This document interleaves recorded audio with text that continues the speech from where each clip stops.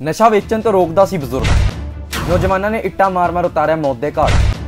ਕੰਧ ਦੀ ਮੁਰੰਮਤ ਨੂੰ ਲੈ ਕੇ ਹੋਈ ਸੀ ਬਜ਼ੁਰਗ ਨਾਲ ਝੜਪ। ਲੁਧਿਆਣਾ ਦੇ ਪਿੰਡ ਧਾਨਸੋ ਵਿੱਚ ਦੇਰ ਰਾਤ ਨੂੰ ਦੋ ਗਵਾਂਡੀਆਂ ਵਿੱਚ ਖੂਨੀ ਝੜਪ ਹੋ ਗਈ। ਜਾਣਕਾਰੀ ਮੁਤਾਬਿਕ ਝਗੜੇ ਵਿੱਚ ਇੱਕ ਬਜ਼ੁਰਗ ਦੇ ਸਿਰ ਵਿੱਚ ਇੱਟਾਂ ਮਾਰੀਆਂ ਗਈਆਂ ਸੀ, ਜਿਸ ਕਾਰਨ ਉਸ ਦੀ ਮੌਤ ਹੋ ਗਈ। ਇਹ ਮਾਮਲਾ ਪੁਰਾਣੀ ਰੰਜਿਸ਼ ਕਾਰਨ ਤਕਰਾਰ ਵਿੱਚ ਪਹੁੰਚ ਗਿਆ।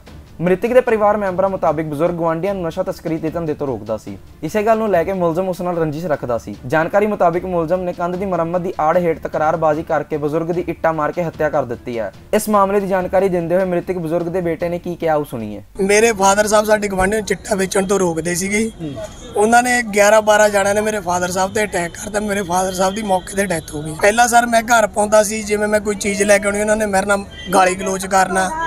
ਮੇਰੇ ਫਾਦਰ ਸਾਹਿਬ ਨੇ ਚਲੋ ਪਿੰਡ ਵਾਲਿਆਂ ਨੂੰ ਦੱਸਣਾ। ਪਿੰਡ ਪਿੰਡ ਵਾਲਿਆਂ ਨੂੰ ਦੱਸਣਾ ਪਿੰਡ ਵਾਲਿਆਂ ਨੇ ਚਲੋ ਕੋਈ ਗੱਲਬਾਤ ਸਮਝੌਤਾ ਕਰਾ ਜਾਣਾ। ਇੱਕ ਇਹਨਾਂ ਦੇ ਕੋਲੇ ਮੁੰਡਾ ਉਹਦਾ ਸਾਲਾ ਰਹਿੰਦਾ ਵਾ ਉਹ ਪਿੱਛੇ ਕਤਲ ਕੁਤਲ ਕਰਕੇ ਆਇਆ ਵਾ। ਉਹ ਇੱਥੇ ਰਹਿੰਦਾ ਵਾ ਜਦੋਂ ਕਹਿੰਦਾ ਮੈਂ ਧਮਕੀਆਂ ਦਿੰਦਾ ਮੈਂ ਤੁਹਾਨੂੰ ਮਾਰ ਦੂੰਗਾ ਮੈਂ ਤੁਹਾਨੂੰ ਵੜ ਦੂੰਗਾ।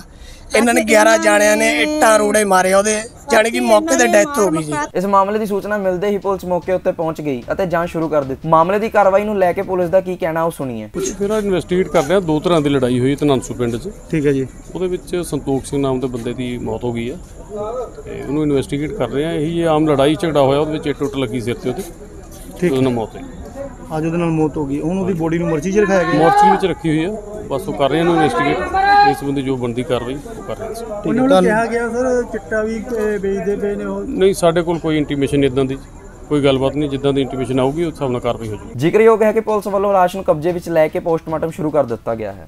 ਲੁਧਿਆਣੇ ਤੋਂ ਟਿੰਕਾ ਜੱਟ ਨਾਲ Chardi Kala time TV bureau ਦੀ ਰਿਪੋਰਟ।